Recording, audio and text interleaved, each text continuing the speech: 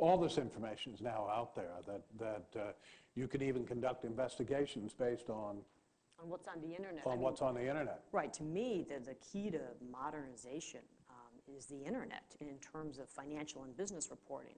Uh, and there are a lot of people, you know, it is, has been pointed out, that are just voracious uh, in taking in all this information. Obviously, in large part, if that's what you do all day long, that you're delighted to have that access. And, you know, obviously, some of the benefits that we've seen kind of on the government regulatory side is there's so much information out there uh, that if you have the aptitude and, you're diligent, you can go through and, detect problems where they exist.